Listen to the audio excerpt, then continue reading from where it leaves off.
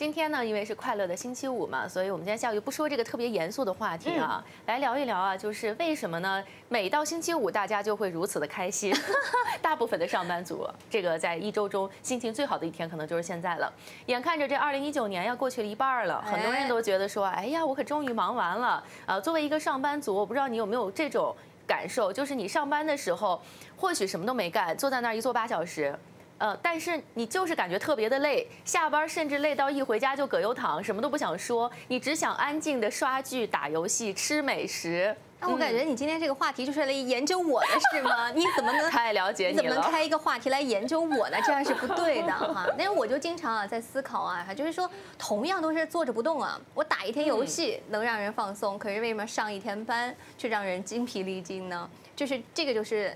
我们今天要从这个心理学的角度来聊一下这个事儿啊。首先来说啊，其实啊，在这个上班的时候呢，我们的大脑的是高度集中、高度紧张的。那么在这个当中啊，就会牵涉到一个我们平时很难察觉到的劳动，叫做看不见的情绪劳动。我们就举个简单的例子说啊，以这个销售行业为例，在工作当中呢，为了维护与客户之间的关系啊，你需要付出很多情绪管理啊，会不知不觉当中消耗我们很多的能量的。没错，说这个美国的社会学家啊，霍奇柴尔德，他就是将这个情绪。将这一个整个这个过程吧，称之为情绪劳动嘛，它指的就是员工要根据组织的情感规则来调整外在的行为表达，在工作中表现出令组织满意的情绪状态。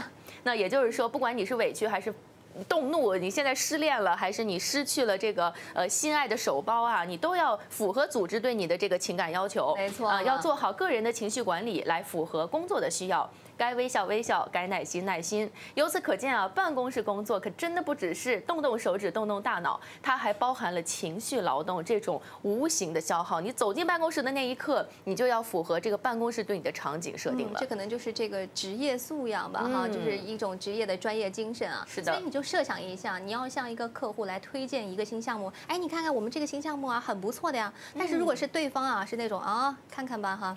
就爱答不理那个态度啊，也不是很积极，各种就是不配合哈，比较为难的话，这就会让你既愤怒又挫败。但是这个时候啊，你不仅要去尽力的去控制自己的情绪，还要绞尽脑汁的去处理一下这个冲突。所以啊，这一天下来，你会感觉虽然活好像没有干多少啊，整个人却像蜕了一层皮一样。所以我们啊，就是常常会觉得要专注的把一件事情来做好的话，并不见得有多累。但是，一旦要涉及到复杂的关系处理，就会觉得心好累啊。对呀。啊，感觉身体被掏空，好像就是这样 来的哈。脑力劳动啊是看得见的，但是情绪劳动却经常被忽略。然而它却是工作中必不可少的，甚至是非常重要的一个部分，也往往是最耗心神的部分。比如说啊，领导批评、部门竞争、客户挑剔等等这些东西啊，这些人际张力都会成为刺激源，来唤起你的各种不良情绪。那为了不影响工作哈，职场人就不得不压抑这些个人的情绪。但是情绪这个事情啊，嗯，就是越压抑，身体就越不舒服，就越容易出现疲劳。是的，你就看街上不是也有卖这个受气包啊等等。哦，对对对，就是为他们设计的，就拿着在歘歘就在那儿，其实是一种自我压力的一种释放啊。嗯，没错。那么另外呢，还有一项十分耗能的工作，叫做调控意志。哎，是我们不仅要花能量去控制情绪啊，在这个与此同时呢，还要控制自。自己的意志，就是说，当你啊做自己想做的事情的时候，比如说啊，我特别喜欢摄影啊，我就在钻研摄影，或者是我喜欢研究心理学啊，或者是我就是爱玩游戏，就算是不吃不喝，连续这个十几个小时的一个一个呃一个这个进程啊，我都不会觉得累的。但是啊，怎么平时这个上八个小时的班，你就会感觉身体被掏空了呢？这个差别是在哪儿啊？就其实你做自己想做的事情，你就可以一心一意的投入，而你做呃不是特别愿意去做的事情的。时候，你就要花很大的一个心力去调控自己的意志了。其实啊，这就是一件非常耗能的事儿了。所以呢，我们再给这个找一个理论根据吧。这个美国凯斯西楚大学的心理学家霍伊鲍恩斯特基他就说啊，与自我控制的这个研究呢，提出了一个自我损耗的理论。自我损耗理论认为，控制意志。呃，选择行为、做出决策都是需要心理能量的，而心理能量它是有限的，短期内只能进行有限次的自我控制。你控制的，你需要控制的行为越多，消耗的能量也就越大。脑力劳动、情绪劳动、意志力控制啊，都是需要消耗你的能量的。而能量消耗之后呢，就需要一段时间才来恢复嘛。就类似于健身之后，你可能需要休息才能够恢复体力。你这种无形的消耗之后呢，也是需要很长时间。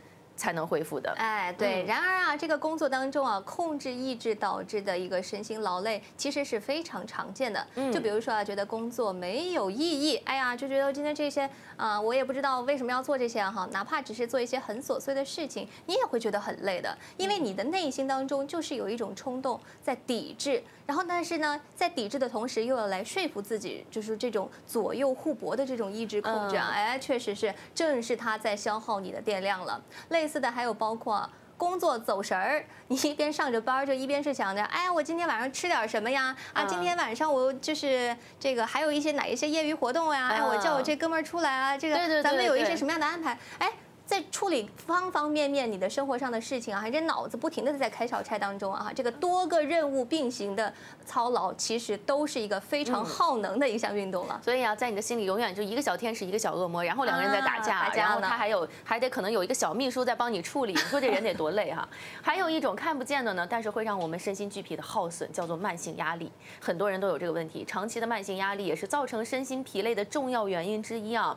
压力分两种，一种是急性压力，它是突如其来的状况，比如说像救火队员、警察叔叔经常面临这种急性压力啊，还有像工作中啊临临时通知明天交方案，呃，这种都是急的事儿。另外一种就是慢性压力，温水煮青蛙了。它就是长期持续存在的压力，比如这个月的校级考核太高很难完成，急性压力的压力解除之后啊，身体其实是很快可以恢复的，而慢性压力就真的是温水煮青蛙了，让身体持续的处在应激紧张的状态里边，始终没有办法得到休息。嗯，所谓的这个慢性压力啊，应激无时无刻不在，其实啊，都在威胁着大家啊上班族的身心状态。就比如说你每天醒来会担心今天的。业绩完不成，我该怎么办？工作没有做好，该怎么办？面对裁员，我又该怎么办？其实这些压力啊，都会让我们本能的会进入到一个战斗或者是逃跑的紧张状态当中，身身体就是开始分泌一些压力激素来应对这些危险。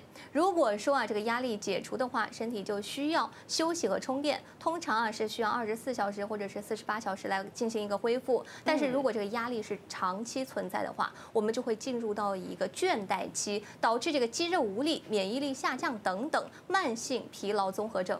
其实解除疲劳压力的方法有很多，大家可以运动啊、旅行啊，但这些需要时间和空间上的支持。最后呢，作为上班族们，我们来推荐一个比较好的解决方法啊，最省事儿、最有效的，其实就是你可以冥想。心理学研究表明，冥想真的能够很好的处理情绪、训练专注力以及缓解压力。其实通过冥想啊，大脑可以分泌更多的这个内啡肽，来唤起呃来唤起我们内心的一种愉悦和平，让身体放松一下。因此啊，当工作劳累的时候，在座位上试着停下来，花几分钟。冥想一下吧。这一节的财经世界就先到这里，感谢您的收看，我们再会。